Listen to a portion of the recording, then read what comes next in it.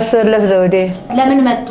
ልጄን ለማስፈታት ልጆት ማን ይባላል? አስጠራው ከበደ ታስሮብኛል። ጧሪ እሱ ነበረ ታስሮብኛል እና ልጄን ለማስፈታት ነበረ። እኔማ እዚህ ነው የሚኖሩት? እኔ እዚሁ አዲስ አበባ ነኝ። የሚኖሩት እሱ ነው የሚጦሩት። እሱ ነው የሚጦረኝ። ሌላ ምንም የለኝም። እሱ ነው የሚጦረኝ። እሱ ነው የኔ እናት። ይሄዳሉ፣ ፍርድ ቤት ይመላለሳሉ። እየመጣሁ እያየሁን ነው። ያው ይህንኑ ይዤ እየመጣሁ እያየሁን ነው። ያገኙታል ቶሎ ቶሎ። አዎ ያወጡልኛል፣ አየዋለሁ። ምን ይሎታል እሱ? ልጁ ምን ይለኛል? አይዞሽ ነይ አይዞሽ ነው።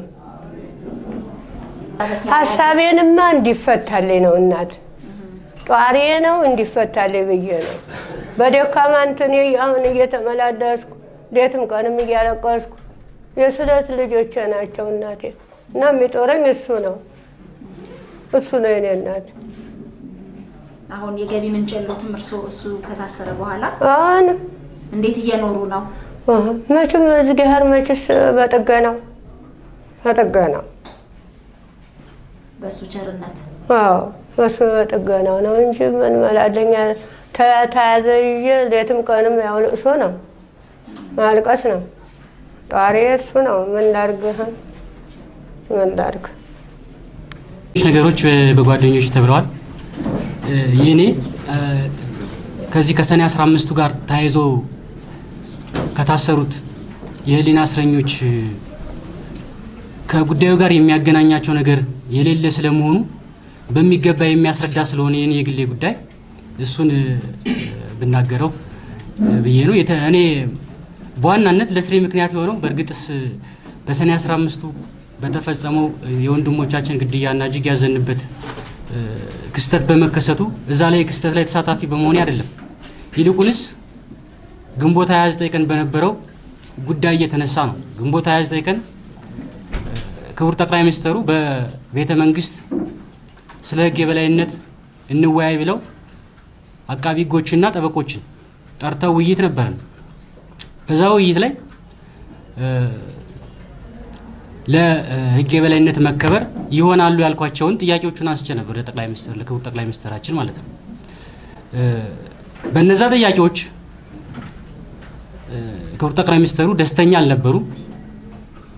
ሲመልሷቸውም ብዙ ደስ የሚያዩ ቃላቶችን እየተጠቀሙ ነበር ጥያቄዎችን የመለሷቸው።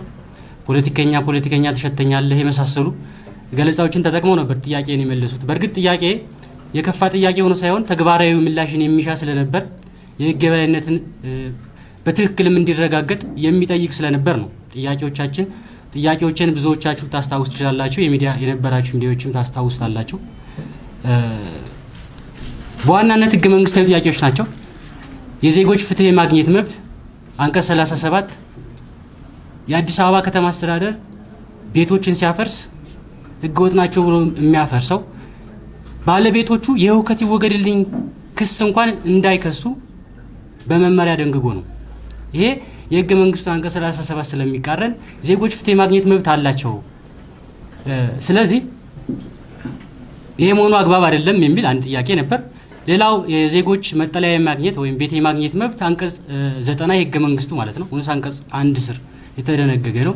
ይህን ቤት የማግኘት መብት መንግስት እያረጋገጠ አይደለም፣ ይልቁንስ እንደውም ዜጎች የሰሩ ቤት የሰሩትን ቤት እያፈረሰባቸው ነው የሚል ጥያቄ የጠየቁት ነበር።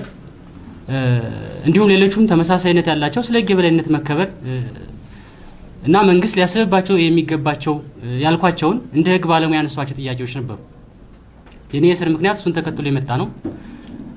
በታሰርኩበት ወቅትም በምርመራ ላይ ይነሳ የነበረው ጠቅላይ ሚኒስትሩን ታደንቃለህ ወይ፣ ለውጡን እንዴት ታየዋለህ እና የመሳሰሉ ህግ ህግ የማይሸቱ ከምርመራ ሂደቱ ጋር ወይ ደግሞ ከተፈጸመ ከሚባለው ድርጊት ጋር ምንም አይነት ግንኙነት የሌላቸው ፖለቲካዊ ይዘት ያላቸው ጥያቄዎች ብቻ እና በጠየቅኩት ጥያቄ ምክንያት የመጣብኝ እስር መሆኑን ብቻ የሚያስገነዝቡ ነበሩ። በዛ ምክንያት ያው እስር ላይ ቆይቼ ወጥቻለሁኝ። እንግዲህ ፍርድ ቤት ፖሊስ ላይ አቃቢ ህግ ላይ የነበሩ ሶስቱም የፍትህ ተቋማት ላይ የነበሩ በጣም ብዙ ብዙ ስህተቶች አሉ። 28 ቀን ጊዜ ቀጠሮ ተጠይቆብን 48 ቀን ጊዜ ቀጠሮ ተሰጥቶብናል በፍርድ ቤት በፍርድ ቤት ማለት ነው።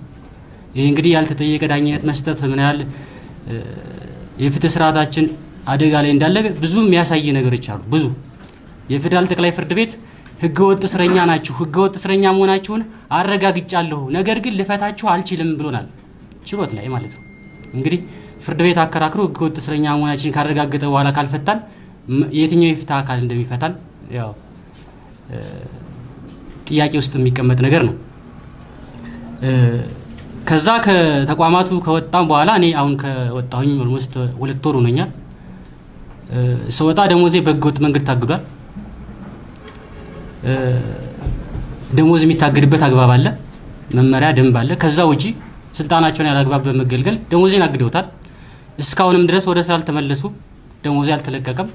ግፉ እንደቀጠለ ነው ማለት ነው። የህሊና እስረኝነቴ ከወጣ በኋላ እንደቀጠለ ነው ይህን የሚያሳየው ማለት ነው። መልቀቂያ እንኳን በህጋዊ መንገድ ይሰጠ ብዬ መልቀቂያ እስካሁን አልተሰጠኝም። እንግዲህ የፌዴራል ጠቅላይ አቃቢ ህግ ሰራተኛ ነኝ እኔ አቃቢ ህግ ነኝ። ፍትህ የማያውቅ የፍትህ ተቋም ውስጥ እንደ መስራት ለህሊና የሚከብድ ነገር የለም። ምንም የሚከብድ ነገር የለም። ሌላ ማለት ነው መንግስት እኛን ያሰረን ድርጊቱ ውስጥ ተሳታፊ ስለነበር ወይም ስለሆን ሳይሆን በሀሳባችን ምክንያት ነው። በገለጽነው ሀሳብ ምክንያት ወይ ደግሞ ባለን ሀሳብ ምክንያት ነው። ስለ ህዝብ በማሰባችን ስለ ህግ የበላይነት በማሰባችን እና በመናገራችን ነው። መንግስት ሀሳብ ያለውን ሰው ሊፈራ አይገባውም፣ ወይም ደግሞ በወንጀል ሊፈርጅ አይገባውም። ይልቁንስ ሀሳብ የሌለውን ሰው ነው ሊፈርጅ የሚገባው ወይም ደግሞ ሊፈራ ሊያስተምር የሚገባው ማለት ነው። ሀሳብ ያላቸው የሰሩትን ሀገር ሀሳብ የሌላቸው ሰዎች ናቸው የሚያፈርሱት። እኛ ሀሳብ ስላለን አገር ልናፈርስ አንችልም። የህግ የበላይነት ይከበር፣ ህገ መንግስት ይከበር፣ መንግስት የዜጎች መብት ያስከብር ብሎ መጠየቅ ሀገርን የሚያፈርስ ሽብር የሚያስብል መፈንቅለ መንግስት የሚያስብል ጉዳይ አልነበረም አይደለም ወደፊቱ ማለት ነው። ስለዚህም ማስተላለፍ የምፈልገው መልእክት አሁንም መንግስት የቀሩ እስረኞች አሉ። በአዲስ አበባ ከ16 ከ22 በላይ በባህር ዳር ከ54 በላይ እስረኞች ይገኛሉ። የህሊና እስረኞች ናቸው። እሱን በአስቸኳይ አጣርቶ አስፈላጊውን መፍትሄ እንዲሰጥበት ወይም እንዲፈታ መልእክቴን አስተላልፋለሁ። ከዚህ በተጨማሪ እኛን ያሰረን ያለ አግባብ መሆኑን አውቆ መንግስት በግልጽ ይቅርታ ሊጠይቀን ሊክሰን ይገባል። አሁንም ያለውን ችግር እየተፈጸመብን ያለውን ግፍ ሊያስተካክልና ሊያቆም ይገባዋል ስል መልእክቴን አስተላልፋለሁ። አመሰግናለሁ። እዛ የነበረው ነገር ከታሰርን በኋላ ስለተፈጸመው ነገር በኋላ ላይ ወደ እንትኑ እመጣለሁኝ ወደ ፍርድ ሂደቱ ወይም የፍርድ ቤት process ና የምርመራ ሂደቱን ማለት ነው። እንደሚታወቀው የኢትዮጵያ መንግስት ከአሁን በፊት ያሰቃይበት የነበረው ጨለማ ቤት እንደነበረ ማዕከላዊ ተብሎ የሚጠራው እስር ቤት ነበረ። እሱን ከአመት በፊት ዘግቻለሁኝ እያለ ነበረ። ከዛም በኋላም አሁን እንደውም የመዝጊያ ስነ ስርዓት ሁሉ ተደርጎለታል። በጣም የሚገርመው ነገር ግን እንደውም እዛ የታሰሩ ሰዎች ያውቁታል። ሶስት በአራት የሆነ ነበረ ተጨለማ ቤት የሚባለው at least መንቀሳቀስ ይቻል ነበር ማለት ነው። የአሁኑ ላይ እንደውም ሁለት በሁለት እየተባለ የሚወራው እንትን አለ እና እንደውም ራሱ መንግስት አጋጣሚ ሆኖ አሁን በቅርብ ትናንት ከትናንትና በፊት እንደውም ራሱ መንግስት ጥናት ያደረገበትን ሰነድ እያየው ነበር። ሁለት በአንድ ነው እስር ቤቱ። ያው እዛ የነበርንበት እናውቀዋለን። ሁለት በአንድ የሆነ ጨለማ ቤት ተሰርቶ ነበር እስር ላይ የነበረው። እጅግ በጣም ቀዝቃዛ ነው። አንዳንድ ጊዜ ደግሞ እጅግ በጣም ይሞቃል። በዛ አጋጣሚ ምናልባት እንግዲህ እዚህ ያሉት ልጆችም እንትን ይላሉ። እዛ ከነበረ ቅዝቃዜ እንትን እኔ በጣም ታምሜ ነበረ መንቀሳቀስ እስከመቻል ድረስ እስካለመቻል ድረስ የደረስኩበትና ሕክምና ገብቼ ምናልባት አንድ ቀን ሕክምና ተደረገልኝ። ከዛ በኋላ ምንድነው የተባለው? ያው መንግስት ሲያስር በሽብር ጉዳይ ላይ ምናልባት በሽብር ከተጠረጠረ አንድ ሰው money laundering ጋር የተያያዘ ስለሆነ አብሮ ሽብርተኝነትን በገንዘብ መርዳት ጋር ተያይዞ ገንዘብ ይታገዳል፣ የሽብርተኛ ገንዘብ። የእኛን ግን ደሞዛችን ነው ያገደው፣ የባንክ ሂሳብ ነው ያገደው። ይህንን አግዶ ግን ምንድን ነው ያለው? በግላችሁ ታከም። እኔም በግል ታከም ነው ያለኝ። ህክምና እንወስድም፣ ለዛውም ታጅቤ የሚሄድባቸውን ሆስፒታሎች አሳውቆኝ እንግዲህ ምን ያህል የበቀለኝነት ስሜት ተይዞ እንደሆነ መንግስት እየተንቀሳቀሰ ያለው ይሄ በአጭሩ መረዳት የሚቻለው ነው። target ያደረጋቸውን እንትኖች አቶ ማስተዋል ገልጾታል። target ያደረጋቸው የህግ የበላይነት ይከበር የሚሉትን አካላት ነው በሙሉ ከየተቋማቱ በመዋጮ ሁሉም ሚኒስቴር መስሪያ ቤቶች ከቀበሌ ጀምሮ እስከ ሚኒስቴር መስሪያ ቤት ያሉት በመዋጮ እነማን ናቸው የሚያስቸግሩን፣ እነማን እንሰር ነው። ያው ግቡን እሱ ስለገለጸው ብዙ ማለት አልፈልግም። ግቡ በተለይ የተፈጸመውን ወንጀል ፈልፍለው ሊያወጡ የሚችሉ ሰዎች ታስረዋል። የሽብር ጉዳይ ለምሳሌ ተፈጸመ ከተባለ በሽብር ጉዳይ ላይ በዚህ የሽብር አዋጅ እኔ ስልጠና ወስጃለሁ፣ certified ተደርጊያለሁ። ሰባት ሰው ሰልጥኗል ከጠቅላይ አቃቢ ከአሁን በፊት ይህ አዋጅ እንደወጣ ይህ አዋጅ ወጥቶ ስልጠና ተሰጥቶበታል። ሽብር የሚባለው ምንድነው? እንደውም ጭቅጭቅ በነበረበት ነው የ19 ቀን ምናምን አካባቢ ነው ስልጠና የተሰጠው እና የሚያሰለጥኑት የነበሩት የጠቅላይ ፍርድ ቤት ዳኛ ነበሩ። አሁን ዳኛው ምናልባት ለቀዋል ይመስለኛል። ስማቸውን መግለጽ አልፈልግም። እዛ ላይ በነበረው ጭቅጭቅ እንደውም ምንድነው አቃቢ ሕግ በጣም ይሄ ሲጀመር አያስፈልግም ሲባል የሽብር አዋጁን እነዚህን አቃቢ ሕግ ተይዞ ነው ወይ ፍትህ ማረጋገጥ የሚቻለው ነው ያሉት። አዋጁ ምን እንደሆነ አቶ ማስተዋል ገልጸውታል፣ በሚገባ ገልጸውታል። ባለስልጣናት ለነሱ የማይመቻቸውን መግረፊያ መሳሪያ ነው መግረፊያ መሳሪያቸው ነው። ይህንን መግረፊያ መሳሪያ አናስፈጽምም ያለው ነው አሁን ለስር የዳረጉት። ስለዚህ መመርመር ካለብን እኛ ነበርን ተፈጸመ የተባለን የወንጀል ድርጊት መመርመር የነበረብን እውነት ለመናገር አላማው ግን እሱ አይደለም። ለህዝብ አጀንዳ መወርወር ነበር። ህዝቡ የታሰሩ ልጆቻችን ይፈቱልን እያለ እንዲጮህና የተፈጸመውን ወንጀል ተደብቆ ማስቀሪያ መንገድ ነበር የተፈለገው። እሱ ነው የሆነው። ስለዚህ እዛ እስር ቤት የነበረው እንትን ከአሁን በፊት ተጨለማ ውስጥ ታሰርን ያሉ ሰዎች ምናልባት አንድ ሳምንት ወይም ደግሞ በፈረቃ ሳምንት ታስረው ከሆነ ሳምንት የሚለቀቁበት ነበር። እኛን ግን ለሰላሳ ሶስት ቀን ያህል ነው ጨለማ ቤት ውስጥ ያሰሩት። ለሰላሳ ሶስት ቀናት ያክል አንድ በሁለት የሆነ ቤት ውስጥ imagine መንግስት ሰው ሲይዝ ምናልባት በሽብር አዋጁን አሁንም እኔ እንደው ነካ ነካ የማደርገው ሰው ሲያዝ ማንም ሰው ወንጀል ፈጽሟል ተብሎ ከተጠረጠረ በፍርድ ቤት መያዣ ትዕዛዝ ነው የሚያዘው። የሽብር አዋጁም ይሄንን ነው የሚለው። እውነት ለመናገር በጣም የከፋ የሚያደርገው የሽብር አዋጁ እንኳን በአግባቡ ስራ ላይ አለመዋሉ ነው። አሁን በጣም የከፋ የሚያደርገው ምናልባት ያለመያዣ ትዕዛዝ የሚያዘው የሽብር ወንጀሉን እየፈጸመ ያለ ሰው ከሆነ ነው። ድርጊቱ የተፈጸመው ሰኔ 15 ነው። ሰው መያዝ የተጀመረው እሁድ ዕለት ጀምሮ ነው። አንድም ሰው ግን የመበርበሪያ ትዕዛዝ ሳይወጣ ነው የተበረበረው ቤቱ ሀብቱ የተቀማው። አንድም ሰው የተያዘው ያለመያዣ ትዕዛዝ ነው። እነዚህን ሁኔታዎች ሳያሟላ መንግስት መያዝ መንግስትነት ነው ወይስ ውንብድና ነው? ለእኔ አለ ፍርድ ቤት መያዣ ወይም ደግሞ legal process ኦችን ተከትሎ ሳይሄድ ሰው ከያዘ ሀብቱን ከቀማ ይሄ ወንበዴ ነው። ለእኔ የውንብድና ተግባር ነው። የመንግስትነት ባህሪም አይደለም። ስለዚህ እዛ እስር ቤት ከገባን በኋላ በፍርድ ሂደት ላይ የነበረው በምርመራ ሂደት ላይ ያው ሲጠየቅ የነበረውን ነገር ተነግሯል። ማስተዋል አብዛኛውን ነገር ተናግሮታል። ምናልባት እንግዲህ እሱ ያልጠቀሰው ነገርና እኔ የተጠየቅኩት ሊሆን ይችላል። እንግዲህ ጠቅላይ ሚኒስትሩን ታደንቃለህ ወይ? ኢትዮጵያ ውስጥ ካሉ መሪዎች እስካሁን ማንን ነው የምታደንቀው? እንግዲህ ይሄ ከነ ከሟቾች ድርጊት ጋር የሚያገናኘው ነገር የለም። አዲስ አበባ የማናት ብለህ ታስባለህ? ይሄ የሁሉም ጥያቄ ነው። የአብን የፋይናንስ ምንጭ ምንድን ነው? ያን ፖለቲካ ፓርቲ እንትን በእርግጥ እኛ በህግም የተከለከለ ስለሆነ በወቅቱ አቃቢ ህግ ነን አይደለንም። የፖለቲካ ፓርቲ አባል ምን እንደሆነም አናውቀውም። የፋይናንስ ምንጫቸው ምንድን ነው የተባለው የክልሉ የልዩ ኃይል ብዛት የፋኖን የምናምን የሚሉት ናቸው። ከሟቾች ጋር ትገናኛላችሁ፣ ትገናኙ ነበር። ምንድን ነበር የምታወሩት? የእነሱን ሀሳብ እንኳን እየፈለጉ ነበር ማለት ነው። እዛ ምንድን ነበረ ሀሳባቸው ምንድን ነበር? ስለዚህ ሲመረመር የቆየው አማራ ክልል እንጂ የሟቾች ጉዳይ አልነበረም። ይህንን ተጠይቅ ያለሁኝ በዚህ መንገድ ሆኗል የሚል አንድ እስረኛ አላጋጠመኝም። ምናልባት ከ33 ቀናት በኋላ የመገናኘት እድሉ ነበረን እስረኞች ጋር። አንድም ሰው ስለ ግድያው አፈጻጸም ተጠይቅ ያለሁኝ አለ አልሰማሁም። እኔ ሰባት ቀናትን ማታ ማታ ከምሽቱ ሁለት ሰዓት እስከ ሌሊቱ ሰባት ሰዓት ስምንት ሰዓት ድረስ ቆይቻለሁ ለምርመራ። አንድም ቀን ከነ ጀነራሉ ግድያ ከነ ዶክተር አምባቸው ግድያ ጋር የተያዘ አንድም ቀን ጥያቄ ቀርቦ አያውቅም። አንድም ቀን የሚጠየቁት የባላደራው ጉዳይ ነው። የሚጠየቀው አዲስ አበባ ላይ ያለው ነው። የሚጠየቀው የፖለቲካ ፓርቲዎች ሁኔታ ነው። የሚጠየቀው የአዴፓ መዋቅራዊ እንዴት አድርጎ እንደዘረጋ እሱን ነው። እውነት ነው።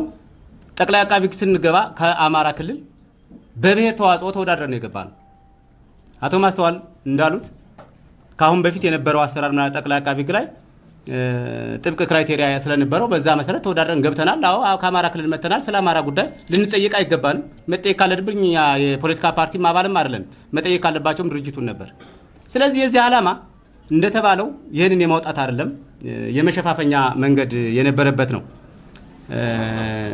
በሌላ በኩል ግን ለእስሩ ምክንያት የሆነን ሶስት አራት ነገር ብቻ ልበል። ለእስሩ ምክንያት የሆነው ለእኛ ምናልባት የህሊና እስረኞችም ስለሆነ ህሊናችንን ማሰር የተፈለገው ለምንድን ነው? ህሊና በመሰረቱ አይታሰርም፣ አካላችን ነው የታሰረው። አንዱ የመጀመሪያው ጉዳይ ለእነሱ እንትን የሆንላቸው የአቃቢ ህግ ማህበር ለማቋቋም እንንቀሳቀስ በነበረበት ሰዓት ነው።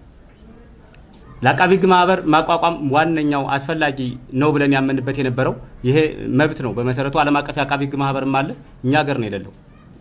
ይህንን ማቋቋም የፈለግንበት የነበረው አንደኛ እነዚህ የፍትህ ተቋማት በተለይ ፖሊስ፣ ፍርድ ቤትና አቃቢ ህግ ከማንኛውም የፖለቲካ ፓርቲ አባልነት ነፃ ሆነው ህዝብና ህዝብን ህዝብና በህዝብና በመንግስት መካከል ድልድይ ሆነ መስራት አለባቸው። ይሄ ዓለም አቀፍ ተሞክሮ ዓለም አቀፉ የሚሰራበት ነው።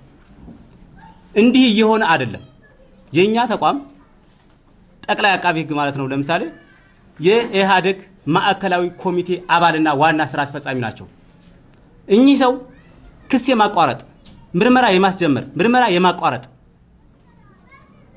በፍርድ ሂደት ላይ ወይም በፍርድ ቤት process ላይ ያለን የፍርድ ሂደትን ማቋረጥ ከተፈረደበት ሁላ ይቅርታ የማድረግ ህግ የማርቀቅ ስልጣኑ ሁሉ ያለው እሳቸው ላይ ነው።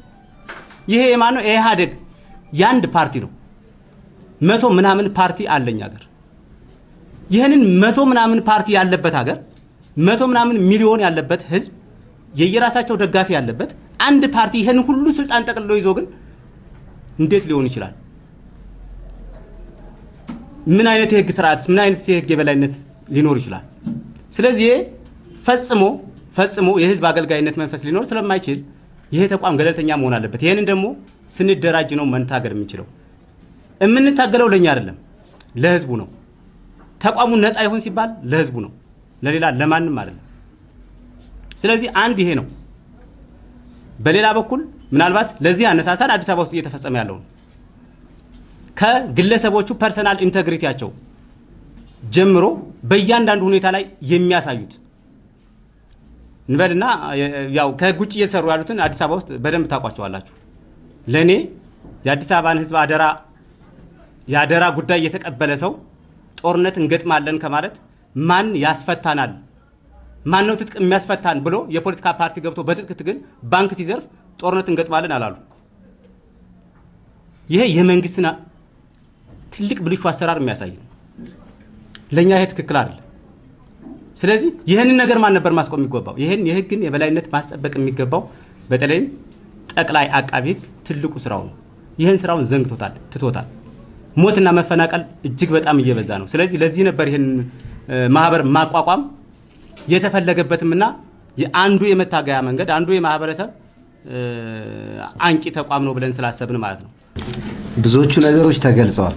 እንደው ያልተገለጹ ብለን በተለይ በተለይ ደግሞ አያያዛችን ላይ እና እስር ቤት ውስጥ የነበረውን ቆይታ እና የፍርድ ሂደቱ ላይ የነበሩትን አንዳንድ ነገሮች መገለጽ አለባቸው ብዬ የማስባቸውን እነሱን ለመግለጽ ያክል ነው። እንግዲህ አያያዛችን ቅድም እንደተጠቀሰው ህገወጥ አያያዝ ነበረ። ያለምንም የፍርድ ቤት ትዕዛዝ ከየቦታው ከየካፌው ከየስራ ቦታችን ነው ፖሊስ እያሳደደ ቀናት ሻወር አልወሰድንም።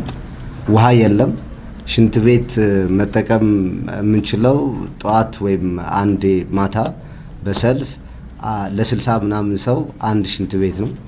በዚህ ሂደት ነው የቆየ ነው። ቤተሰቦቻችን የት እንዳለን አያውቁም፣ እየተጨነቁ ነው። ምናልባት እድለኛ ከሆኑ በቅርብ ብርበራ የሄደ ሰው ካለ ቶሎ ወደ ቤት ብርበራ በዛው የሄደ ሰው ካለ ከአንድ ቀን ከሁለት ቀን በኋላ የሄደ ሰው ካለ እሱ ነው ቤተሰቡን ሊያገኝ የሚችለው።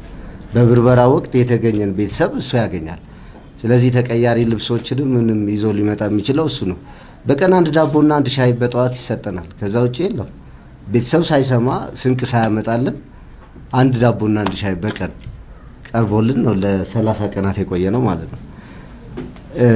እኔ እንግዲህ focus የማደርገው እንዳልኳችሁ ይሄን አያያዙ ውስጥ ያለውን ነው እና ከዛ የወጣንበትን መንገድ በነገራችን ላይ አራት ቀን የረሃብ አድማ አድርገን ነው ከጨለማ ቤት የወጣነው።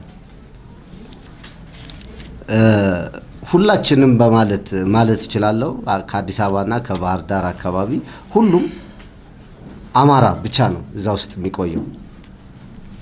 ሌላ ሰው ሌላ ከአማራ ውጭ ተቀላቅሎ የገባ ሰው ካለ በሁለትና በሶስተኛው ቀን ከጨለማ ቤት ይወጣል፣ ወደ ሌላኛው ክፍል ይዛወራል ማለት ነው።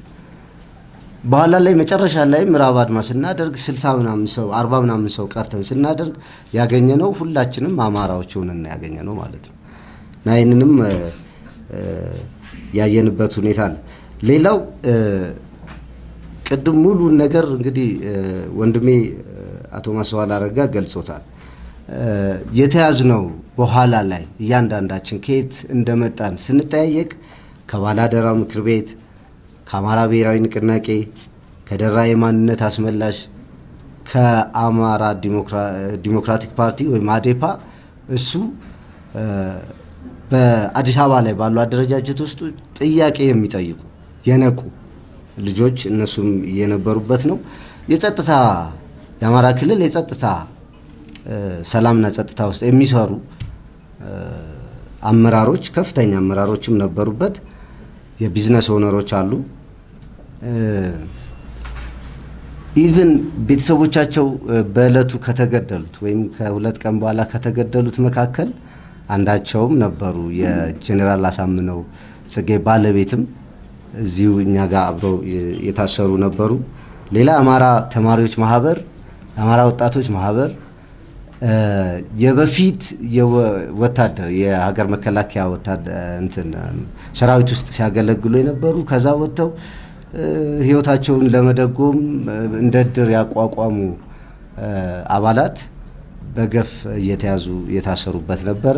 አሁንም በስራ ላይ ያሉትም እንደዚሁ VIP ጥበቃ ላይ ሲሰሩ የነበሩ የተወሰኑ እነሱም የተያዙበት ነው። ሁሉንም አይነት የሲቪክም የፖለቲካ አደረጃጀት ውስጥ ያሉ ሰዎች መያዛቸው ሲታወቅ እንግዲህ ምን አይነት orchestration እንዳለ ግልጽ የሚሆን ይመስለኛል።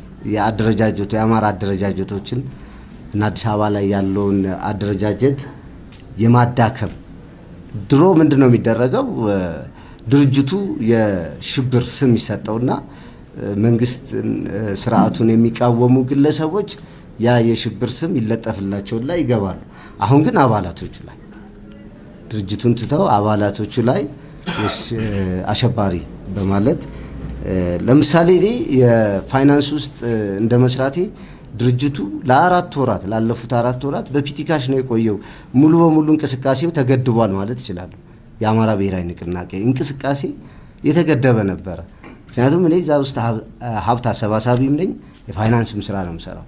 የገባሁት በገባሁበት እለት የክፍያ ቸኮችን የድርጅቱ የክፍያ ቸኮች፣ የባንክ ቡክ እና ሌሎችንም ሰነዶች በኤግዚቢት ሰጥቼ ነው የገባሁት። ስለዚህ ምንም አይነት እንቅስቃሴ አልነበረውም ማለት ነው።